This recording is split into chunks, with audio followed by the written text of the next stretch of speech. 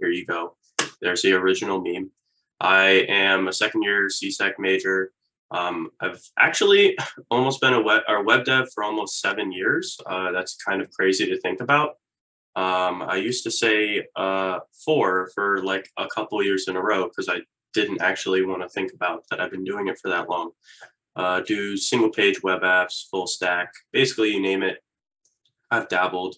Uh, I'm also the director of PR for RIT Uh, I also do some red teaming and black teaming as well. So buckle in. All right, we're going to learn basically everything overview of web. Uh, we used to do a basic web and an advanced web presentation. Now we're just going to speed run the entirety of web. Uh, this replay will be available on Twitch and YouTube. So go back, use that if you uh, want to find out more. So first, let's start off with um, some web basics. what is the web? Well, obviously, the World Wide Web, that's where www comes from. Uh, it's an information sharing platform that operates over the internet. Pretty basic. I'm sure we all know that, especially considering you're on Twitch right now watching this stream. Uh, and when you went to that stream today, you entered what's called a uniform resource locator or a URL, i.e., twitch.com or oh wait, twitch.tv. Uh, my bad. Um, but this is a, basically an easy to remember address that flags a location on the web, um, such as this example.com right here. So there's some technologies that we use to support the web. Um, HTTP is the primary protocol that we use to transfer content over the web. And it's how clients and servers uh, talk to one another in order to serve up your favorite content uh, like watching me on Twitch uh, or sitting there watching TikToks for hours or Snapchatting your friends, whatever, whatever. Oh, twitch.com redirects to twitch.tv. Thank you very much. Um, then this content is actually uh, rendered and served to you usually through a combination of three different technologies hypertext markup language or HTML, cascading style sheets or CSS, and JavaScript, sometimes called JS. Uh, the three of these technologies are what makes up the majority of the web content uh, that exists. So HTML is used to structure web page. Uh, it could be considered the skeleton. Um, CSS is how we style it. Um, it's kind of like the face of the whole operation. Um, and JavaScript is used for interaction. So I guess if you we're continuing on the analogy, it's like uh, the muscles of the web page. Um, there's also frameworks out there written in JavaScript now, um, such as React, Angular, Vue.js. Um, and these are used to create what's called single page web apps, which we'll get into a little bit later. So how does HTTP work? Uh, basically, uh, client and server connect via port 80 uh, if we're doing HTTP. Um, but we also have this fancy uh, encrypted connection called HTTPS, which uses TLS to encrypt your uh, connection back and forth. Um, but at its core, basic TCP connection, we open that. And first, our client is going to send an HTTP request. So the HTTP request can be made by a browser, curl, wget, whatever. Um, but HTTP requests, they require three things. First, they require an HTTP version. Second, they require what HTTP method you're going to use. And lastly, where to send the HTTP request. Um, optionally, uh, you can also have um, headers attached to that and a, potentially a body slash payload. But uh, I will explain that more in just a little bit. Next, uh, you the server will respond with an HTTP response. Uh, all that's really required here is status. Um, so if you ever see, oh, error 404, uh, page not found, there, there's your status. Uh, that 404 is that status. That's all that's required for the server to send back. Uh, there's a lot of optional stuff like uh, they can send back a body or response uh, or some cookies. along with that. But these just, the status just is there to describe what is happening on the server side and what kind of response you're getting. And of course, this whole connection is stateless. So in between uh, multiple requests, uh, the server can't really tell the difference between a handful of requests. Each one is handled independently. So HTTP methods. Um, this is a part of our request. Um, there's a whole lot of methods, as you can see on the side here. Um, and there's a lot of standards that exist around these methods. However, technically, if you control the server side of a web server, uh, you're, you're free to use them however you like, really. Um, browsers tend to stick to this table feature wise. But when you control both sides of the application, you're kind of free. You have a little bit of freedom there. Obviously, our GET request, that's pretty common. I'm sure you've heard of it before, um, especially if you've ever used wget. Uh, this is when you want to get a resource, the web server will go get that resource for you and return it. Um, a head request, this is when you just want the headers. It's essentially the same as get, but server's only going to send back the headers and not any content. Um, uh, the put and post requests, those are very similar. Um, it's when you want to send data to the server, like if you're uploading a file or submitting a form. Um, typically, uh, the post request is used for creations and the put request is used for updates. Um, that's just kind of standard. Um, and just a note that you can send data along with any of these requests as long as it's not trace. Um, but the standard is that post and put are used to send data to the server. Ah, uh, yeah, no, you're right. Yeah, so you, yeah, it's a good, it's a good uh, method to limit your uh, applications to these standards. That way, you don't have any funky, uh, funky things going on. Um, the delete request, uh, it's usually used in deletion. Um, this is used in what is called CRUD operations or create, read, update, delete um, in APIs. So if you have, uh, I don't know, a user and you want to delete that user, you would send a delete request along with some describing details about uh, who that user is that you want to delete, and then it will delete them from the database. This, that's just typical use case here. Um, connect request, usually uh, it opens, it's used to open a connection or a tunnel to the server. Um, this is not the same as the connection header that you'll see in a lot of requests. Uh, options requests are used to get a list of supported methods from a server. So if you send an options request to an endpoint, it will let you know all the different actions that you can do on that endpoint. So uh, if we have a slash users endpoint, and we send an options request to it, it'll let us know, uh, oh, maybe you can get, and that will return all the users. We can post, you know, create a user. We can put, it'll update a user, and so on. Um, trace, it is, I, I have never really seen trace used, um, but it's kind of similar to traceroute as far as I understand. Um, patch, patch is not used very often, um, but VMware tends to use it a lot um, in vSphere and NSXT. Uh, ask me about that later. Uh, but basically, it allows like a list of changes to a resource to be sent, and those will be applied. So these HTTP statuses are also standardized. Um, so anything in the 100 range uh, basically is just informational um, everything in the 200 range, yeah, no, successful, valid response. Uh, everything's good.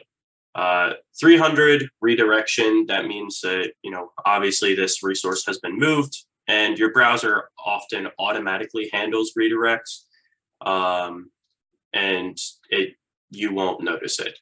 Uh, 400 uh, error, that means, I mean, you did something wrong. 404 uh, that means you entered in a wrong URL. Uh, 500, that means that the server is messed up. Uh, this is uh, I mean, this is could be a multitude of things, but usually the backend devs need to go dig in and figure it out. Um, in reality, these codes can be whatever you want, um, but you typically have to stick to these standards because uh, if you don't, the browsers do a lot of automatic handling of these errors based upon which category they fall in. Um, ah, yes. All right. So the HTTP headers are another part um, of the responses and requests. So uh, essentially, headers are just metadata. Uh, there are a lot of standardized uh, headers, um, but you can also make up your own and submit those with your request. So if you have custom uh, headers you want to provide for your application, that's perfectly fine. You can you can send those instead of sending them and in the body of the request. Um, they have a key value syntax. Um, so similar, like you can see uh, content type, uh, and the content type would be application JSON. Um, essentially, this just describes the client and server. So like what type of connect or what type of content to expect, or how long is the body, uh, what type of client is it. Um, so there's a lot of uh, mobile styles that could be applied. So whether or not to send the mobile version of a web page or not. Um, there's a there's a whole bunch of things you can do with headers. HTTP cookies are a very special thing that need to be paid attention to. So it's a it's a special HTTP header, um, just called cookie, and oftentimes there will be multiple included in there. Um, you have it's a name equals value syntax, and you can list them, separating them by semicolons, and put as many as you want. Um, they provide statefulness to HTTP. Uh, so this is a way to link multiple requests together. Uh, so these are stored on the client in their browser, um, and they're set by the server. So a response will have the set cookie header, and name equals value. And I'm pretty sure you can chain them together as well uh, with semicolons. And a lot of the server, a lot of the web server uh, software out there you find, uh, if you're programming, so things like GinRouter for Golang, uh, Flask for Python, uh, they can handle cookie setting uh, easy for you and provide you easy interfaces, so you don't really need to worry about the low level stuff. Um, there is also ways to provide tamper protection um, and then also one note is that these cookies are dangerous if they get stolen. Uh, depending on the application, uh, you can store a whole lot of information about your user in the cookies. So if these get stolen, this is this is kind of a whole big deal. Uh, so the HTTP body is another part of the uh, request and response. This is the actual data that's being transferred back and forth. So in an HTTP request, that means that this is probably like form data or uh, something something else like uh, anything to do with interaction on the web page. Um, and then in the response, you're you may be getting like a full HTML web page. Maybe you're sending to an API endpoint and it's sending JSON back to you, um, something like this. Uh, but basically, the idea is you are following the server dev's API and whatever they provide you, it will come back out in the response body. Um, another note is this is often referred to as a response payload. So if we take a look back at this HTTP methods table, uh, we can see where requests are allowed to have a body and where responses are allowed to have a body. Now, if you do provide a body in some of these requests or responses, oftentimes servers and browsers will strip them out for you. Um, so don't expect it to, to work. Um, if someone if someone can attempt it and make it work, let me know. Um, but often this was actually expanded recently. Um, things like connect and options didn't used to allow bodies, but now they're optional. Um, so this this is constantly changing. Um, but browser, like I said, browsers may auto reject it if they're not up to date, or also if if it's no here, it's guaranteed that there's uh, no body coming. So if we look at uh, HTTP requests, again, how do we make these? So you can use your browser, first of all. Uh, browsing to a web page executes a GET request automatically. So if you just need to make a GET request to an endpoint, just go to the URL in your browser. Uh, if you wanted to have some more features, you could actually write some code. So in Python, you can use a request library. Golang has net HTTP. Uh, JavaScript has the fetch API. Uh, there's a there's a whole lot of stuff. Uh, you can also use the command line to execute these requests. So um, if you want to use things like curl, curl is actually a really powerful tool. It's really good to learn. It can execute all kinds of requests. Um, it, it actually goes really in depth, and I cannot say that I'm an expert on it whatsoever. Um, but highly recommend you uh, start learning it. Uh, wget, I don't, I don't use this often, um, but in it, as it says in its name, it's used to just well make uh, get requests. So uh, if you want a quick download a file, wget's your guy. Um, I use curl tech o, uh, but that's all right. Uh, technically, you can also use netcat. Uh, you're gonna have to handcraft those requests though, and I don't have time for that. So just use curl and wget. Um, something I use a lot in uh, backend web development, especially when I'm working on those APIs, is Postman. Uh, it's an API development tool. Um, it allows you to store, categorize requests for your entire API. It allows you to essentially document uh, your entire API. So you'll never forget, oh, what's that pesky endpoint again? Uh, you can just save that. You can write documentation for it. You can script it. Um, all these all these kinds of things. It's a very powerful tool. Um, I believe it was pretty much the first uh, to the market, at least the biggest. There's a lot of other tools out there that try and copy it now, um, but I do think it's pretty much uh, the best out there. So, highly recommend. so, when we talk web pages, how are these made up? I know I mentioned them in the very beginning. For those of you who don't know, we're going to do a quick, brief overview of how this works. So, uh, HTML, like I said, is the skeleton of the web page, and the this is made up of tags, and these tags are used greater than and less than signs to surround them. Uh, you have an opening tag like this body here and the H1, and then at the end you need a closing tag uh, designated by the forward slash. Um, this uh, operates uh, also with attributes on these tags. Um, so it's a way to uh, uniquely identify and te- provide some data and or metadata to each tag. Um, this also feeds into CSS, which kind of acts as the skin, the face of the whole web page. Uh, you use things like selectors. So if we wanted to select our div up here, uh, we could identify it by its ID and its class in CSS. Um, and then we apply styles to it. Uh, for example, setting the background color to red.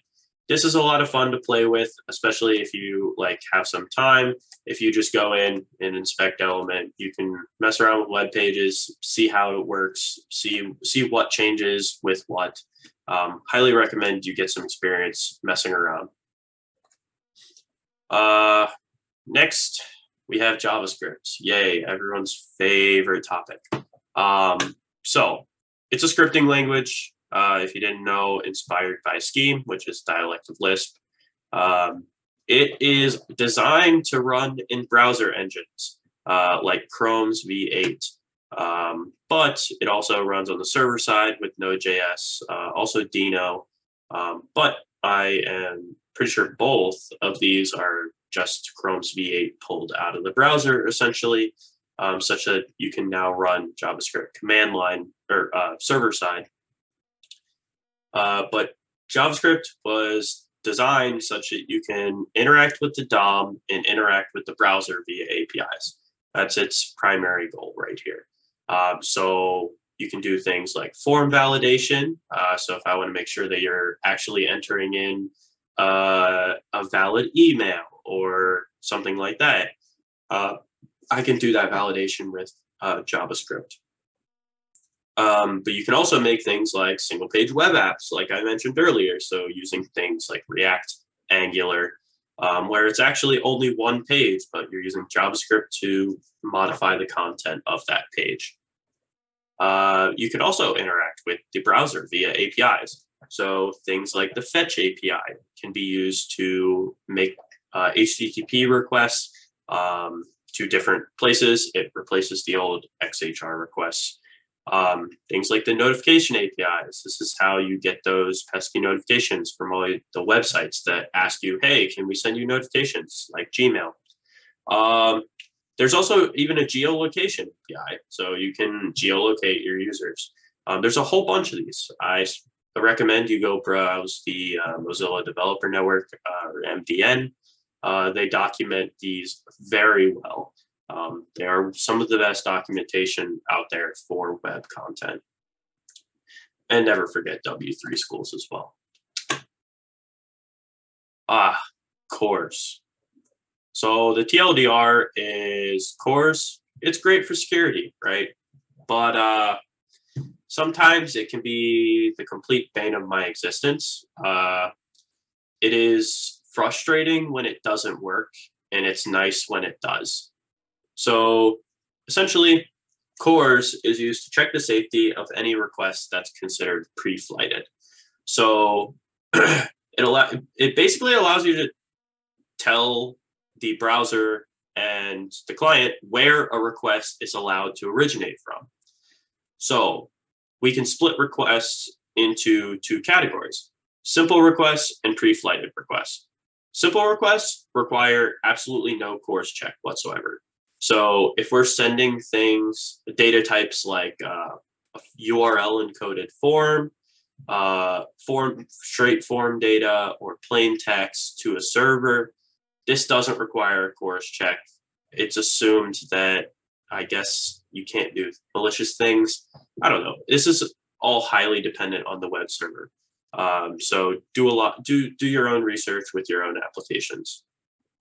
But pre-flight requests, these do require uh, a CORS checks. So your browser will automatically send an options HTTP request before it continues doing anything that might touch CORS.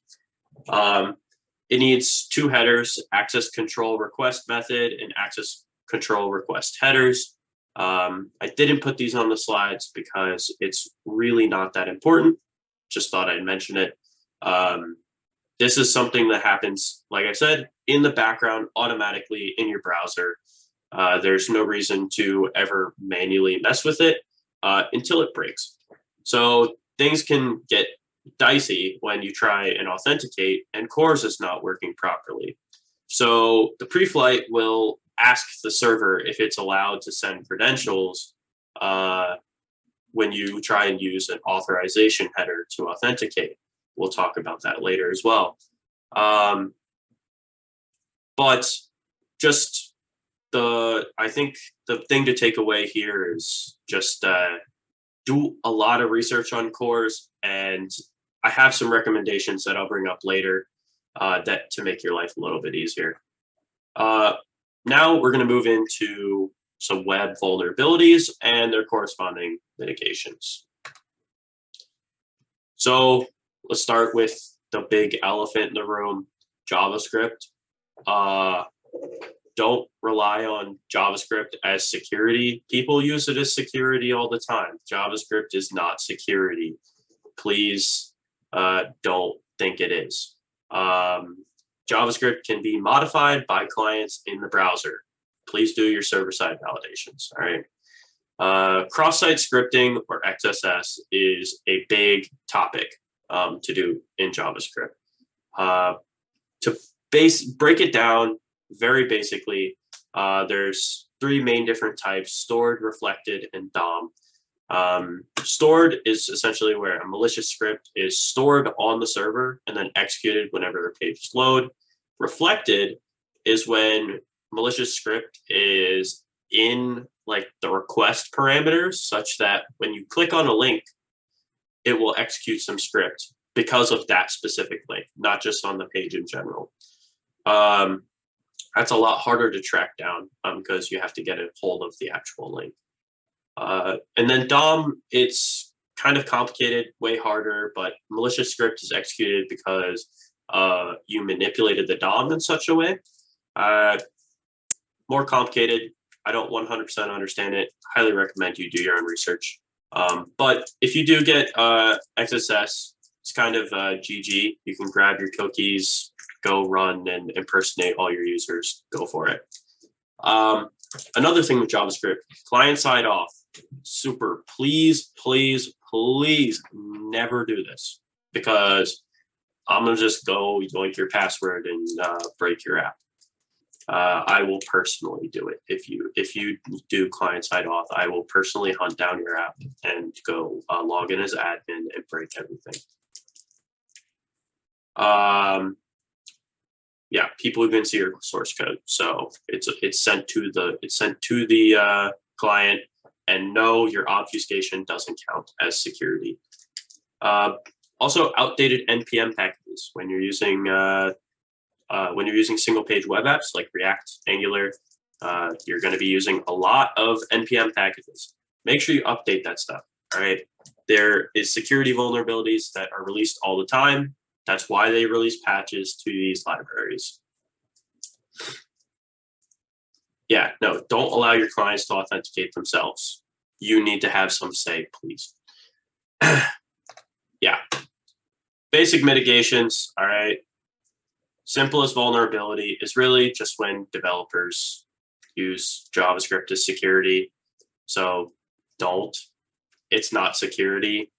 Do your validations on the server side. And also use JavaScript for its intended purposes. Don't don't don't try and go beyond that. Just have some fun, mess around with the DOM, make your web page fancy and interactive. Maybe do some browser things, send some notifications, uh, do some geolocation, send some fetch requests, uh, that all that kind of stuff. Ah, CORS. So there's some things that get fun with, especially with cross-site scripting, uh, when uh, CORS is allowed from anywhere. This is something that happens a lot. I am guilty of it uh, during development. Uh, when you don't want to deal with it, you just disable it. So on your server, you just set your access control allow origin, which should normally be a list of allowed URLs. Um, but you can also just set it set it to star, and this will just allow everyone to make requests to your API. So this is dangerous. Please don't do that. Um, also, sometimes when you don't know how many subdomains you're going to need, or you're supporting a large uh, or you're supporting a large organization, uh, people just allow partially validated domains to attempt to allow all subdomains. So they'll allow like starexample.com. But if I want to be malicious, I can also create a website attackerexample.com, and that's also a valid URL for that. So please don't do that. Be smart. Just it's not a lot of work. Uh, also, bad requests from a valid origin. So if you can find a way, cross-site scripting, to start sending malicious requests from a valid origin, whether it be partially validated or if they allow all, or they have it properly set up, then uh, GG.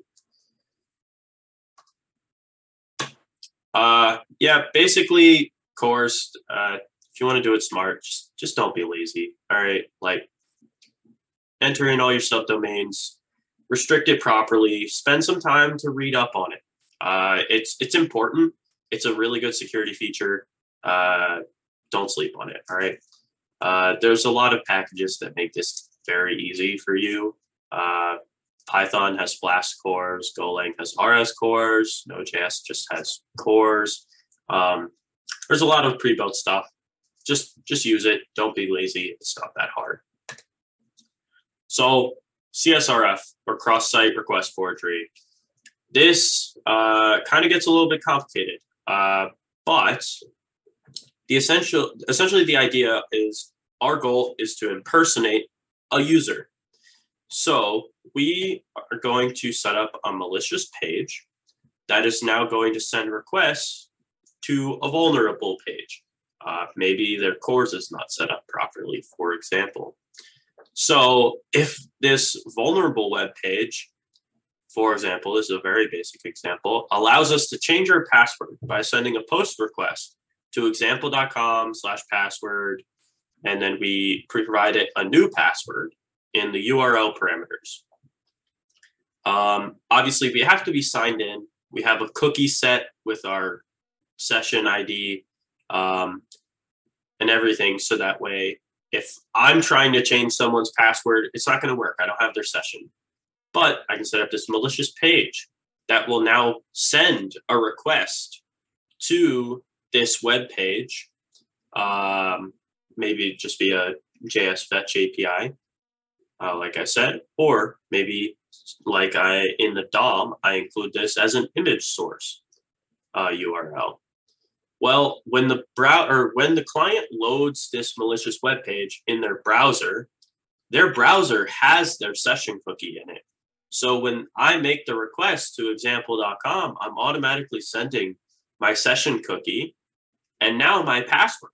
My password has been changed to hacked uh, because it's a valid request from a valid client who's logged in. Um, yeah, so browsers do this because you don't want to have to sit there and specify exactly what cookies you want to send every time. So cookies have URLs attached to them that they get automatically sent when requests are made to. So it's a fancy feature that can be abused. So you can try and uh, impersonate a user. Uh, to mitigate this, um, luckily, uh, CSRF is actually really tricky to pull off in the wild. Um, if someone has an example of where it's really easy in the wild, uh, please let me know because I'd love to read up on it. Um, but be smart, use CSRF tokens. This is something that a lot of web apps, uh, yeah, exactly. Um,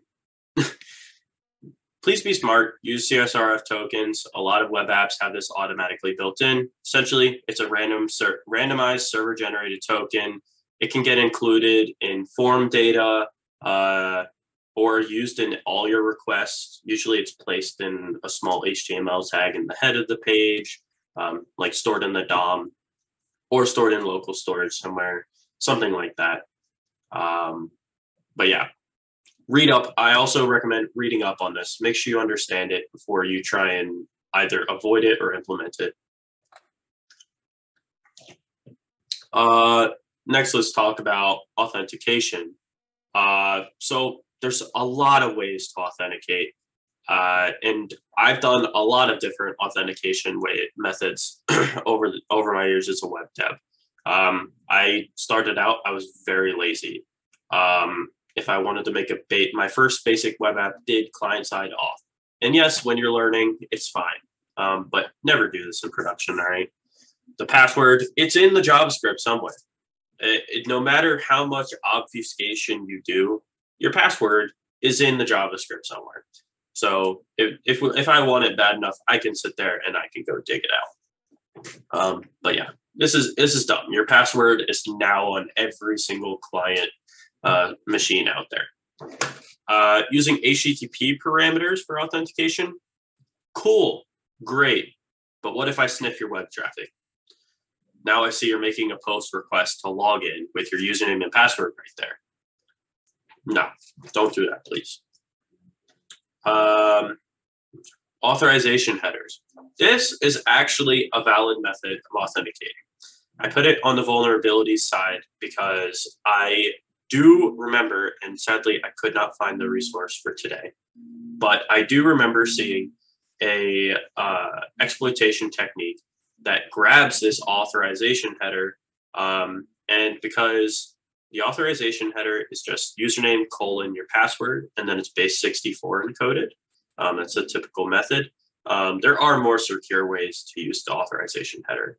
Um, but I did see a way where you can grab this and then boom, you got login creds. Um, it's a lot better than the others, but still not recommended. I do have a better way. So use sessions. Session based authentication is top tier. All right. You can use uh, a secure post uh, post method. So obviously make sure you're using HTTPS. That's a given. Um, but when you send your post method, send your login information in the body. Make sure it's encrypted. Please, thank you. Um, sessions, they should be assigned tokens, which are just randomly generated. The server should store these in a database somewhere. Um, they should be sent to the client when they log in. That way they can be cached on the client's browser. Uh, sessions should also expire.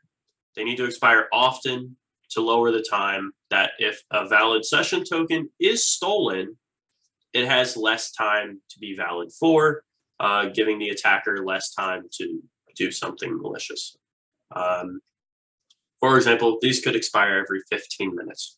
Um, but to make it so that the entire web dev experience doesn't suck, uh, because or the web UI experience. Basically, if the sessions expire every 15 minutes and it logs me out, that's going to suck. I don't like logging back in every 15 minutes.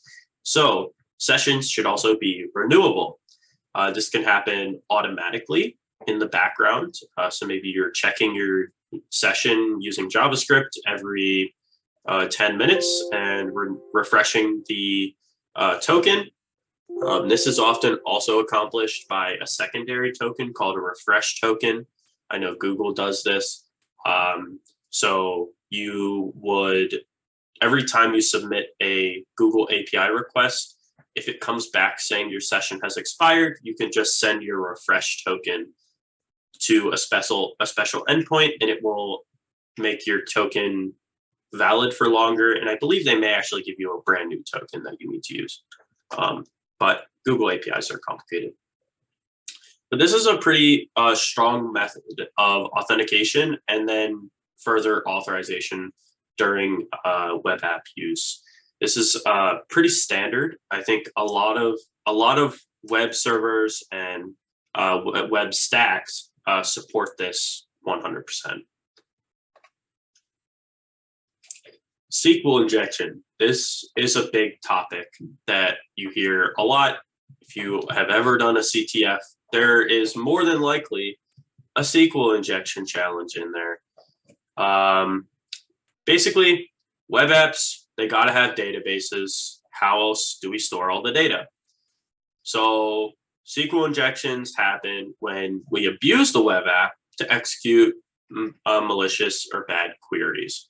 Uh, this happens mostly because of bad input sanitization. So I provided a little bit of an example here. This is PHP. So if we have a login form, um, I did shorten this, so ignore the fact that there's no username check here. But if we have a login form where we're trying to validate the password, we're going to grab our user and check if password equals and then the password they entered. Um, but what happens if I go in the password field and type in uh, a closing colon and or one equals one? Um, well, I can show you. So as we see, the query is the same up until we get to password, where now password is just a blank string and then we say where password is nothing or one equals one, which is true. And then we include this semicolon and a hashtag to uh, basically comment out the rest of the query if there is something beyond that. So this is just a authentication bypass. It'll just log us in, maybe give us a session token. Um, but this one, one equals one is always true. So it'll let us uh, it assumes we have the correct password 100% of the time. So to mitigate this, all right, sanitize your inputs always. Validate everything. Please always check that you have validation uh, or that you have valid inputs. All data coming from the user should always assume to be malicious. All right. Assume that every in oh whoops, I accidentally messed up. Uh, always assume that inputs are going to contain bad data at some point. All right. Um, also, don't use parameters directly in queries.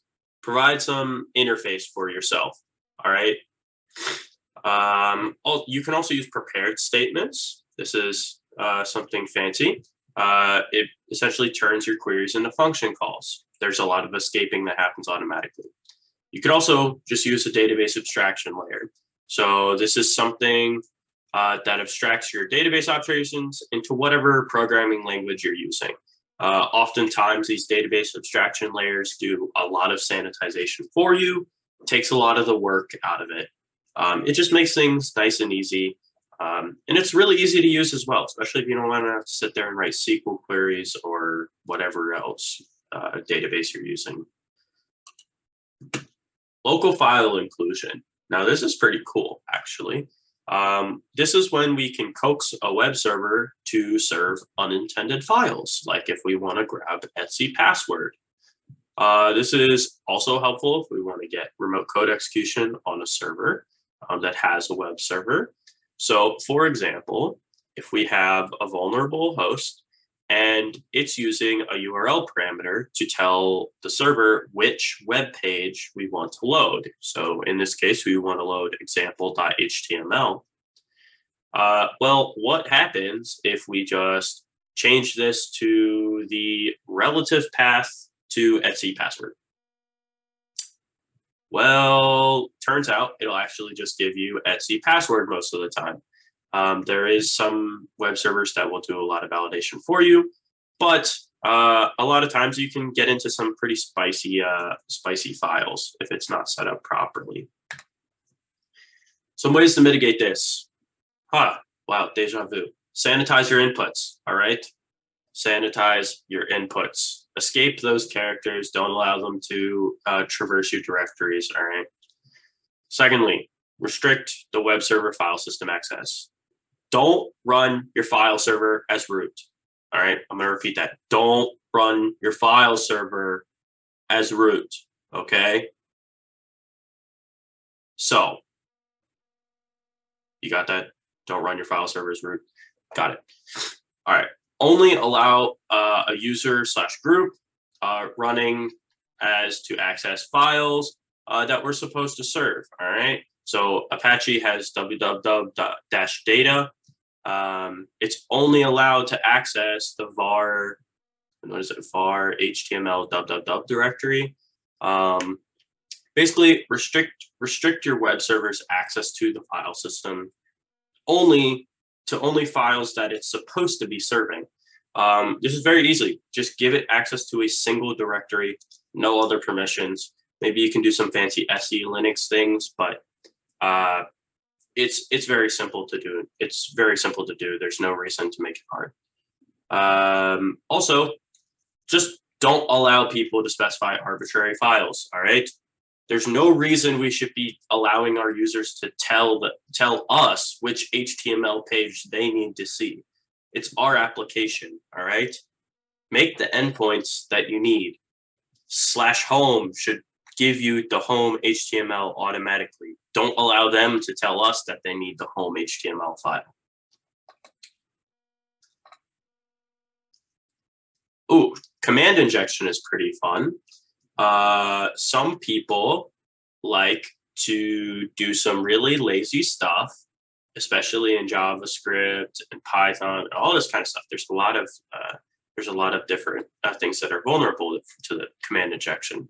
So if we have an endpoint with some arbitrary input, like bob underscore resume.txt. So, huh, all right, well, when we go to this endpoint, it sends us back Bob's resume. Well, turns out if we look at the backend, it uses a vulnerable execution method because it's in Python. This is a, probably a Flask server. And it just returns os.system and cats out the file. So it just runs the cat command and pipes the output to you. Well, hey, this is this sounds kind of dangerous, right? Yeah, actually it is. So we can just abuse this Uh, we can set the file equal to whatever can be whatever. Um, but in bash, if we just enter a semicolon, then we can start typing whatever commands we want. So this will execute cat and then also literally anything else we want. So this is fun. Um, don't do that. Sanitize your inputs. This is like repetition for everything. Sanitize, please. Literally, this is the law of the web. All right.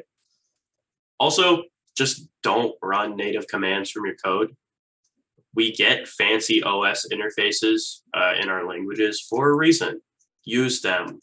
Don't just think, oh yeah, now now I'm just gonna I'm just gonna execute commands because I, I I know my way around. Ah, just just use the pre-built ones for a reason. There's been a lot of thought that went into them. Also, huh, also deja vu. Don't run as root, please. If command injection does happen, let's not make it worth their while. Minimize the impact. Make sure that they can't access much. Uh, give them little to no access, even if they get code execution. All right. All right. So now moving into, ah, uh, yes. All right, Bob. You can. Uh, hi, Bob Senior. Uh, you can uh, run your web server as root. I give you permission. Just send me the URL though.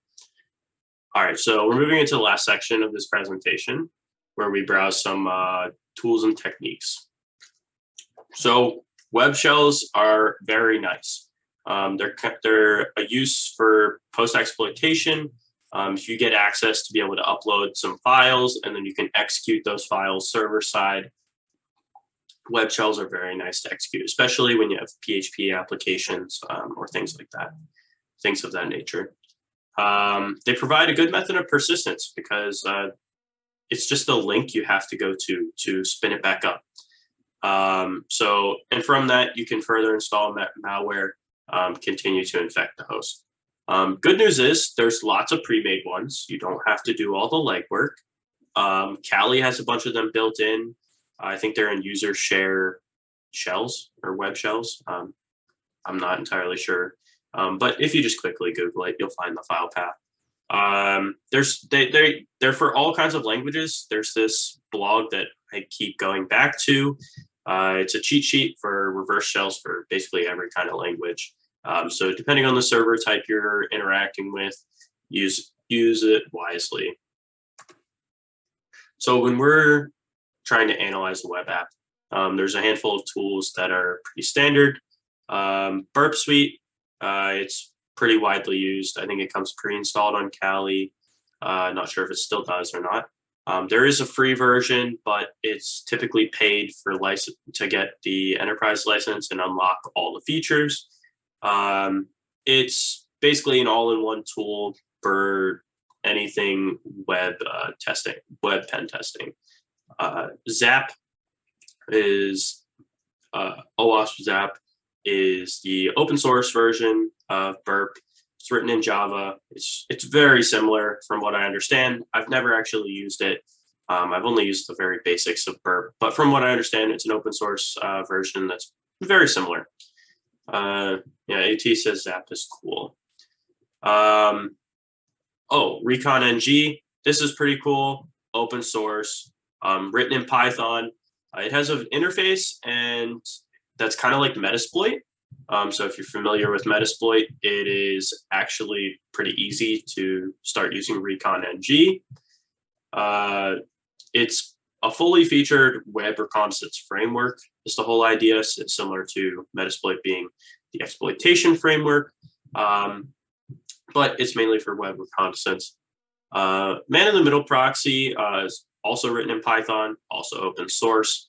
Um, this allows you to intercept, inspect, modify, replay traffic. Um, a lot of similar basic things like burp and zap include, um, but this does have a command line interface and a web interface um, as well. But uh, wait, do we do we really need all these fancy tools? No, we don't. Our browsers include some pretty uh, pretty fancy tools built right in. Uh, if you've ever right clicked on a page and hit inspect element, uh, well, uh, you've seen this window. This is the developer console or developer window. Um, it's a whole lot of things you can do. You can run some JavaScript in their JavaScript console, uh, look at source code. Uh, you can, and I say almost here because there's such things as server side rendering. So some content gets pre rendered server side and you can't see the source code before that. But uh, you can see all network requests that have been made since you've opened it. You can browse the application cookies, you can browse local storage, TL, get the TLS certificates. You can do so much with the developer window. I highly encourage you to play around, uh, just kind of see what you can find. Um, you can find a lot of interesting stuff. Um, I know I found a lot of random like comments from developers in their source code. So much. Um, yeah, people don't minimize their source code sometimes uh, when they go to production, which is kind of cringe. Also, another uh, another technique, uh, robots.txt exists. All right. So obviously there are web crawlers like Google has one. Um, I think Microsoft has one, like for Bing. Uh, I think a bu- there, there's a bunch out there, right? The web crawlers are constantly going. They're just going to every single web page that they can get their hands on. Um, but robots.txt is placed at the root of your website and it's used to tell web crawlers what they should and shouldn't crawl on your web page. Um, not all web crawlers are required to follow this. Uh, like they physically can go crawl the rest of, rest of your website. But because of this, this is a great recon tool because you can go see uh, what the developers don't want the web crawlers to be looking at. Because ideally, if they don't want the web crawlers looking at it, they don't want it showing up on Google. Um, so more than likely, it's something eh, decently sensitive. Not all the time, though. Uh, but you can find some pretty cool stuff. Like Nike, they have just crawl it on there. It's funny. Um, so some analysis tricks uh, to look at when you're first faced with a web app. Check for input sanitization mistakes. I said it like a billion times during this presentation. Go look at the source code, play around with inputs, see what you can type where and where you shouldn't. Try and break things. Hey, maybe you have to modify some things on your client uh, but if you can modify them on your client, more than likely the server isn't going to care and it's going to let you send it anyways. So uh, enter things like null bytes, uh, CRLF, uh, mess around with URL encoding, uh, all this kind of stuff. Another thing is recon. It's very important. Uh, know what you're dealing with. try and figure out what server you're interacting with. Look at the user agent headers, all this kind of stuff. Um, know the technologies involved. Are they using React, Angular? Are they just using plain HTML and JS? Is it a Flask app? All this kind of stuff you need to ask and find answers to those questions. Um, also, figure out all the APIs. All right, you need to go go browse the API. See if see if they have some open API uh, documentation. Um, there is some specs that get provided often are, and are posted publicly for third party apps to be able to interact with a developer's API go poke around, see what you can find, see what endpoints you can hit. Um, have some fun with it. And then lastly, just jump into code. Uh, automating your exploit kind of goaded, make your life easy. All right. Um, and honestly, most of this stuff is much easier done from code, anyways. So just start messing around, start writing some code, and this way you kind of already automate it along the way. All right. That has concluded uh, the entirety of basic and advanced web in one presentation. I know I went decently fast. I probably missed some things. So I would love to uh, discuss with you guys in Twitch chat and Discord later. I appreciate it. Thank you.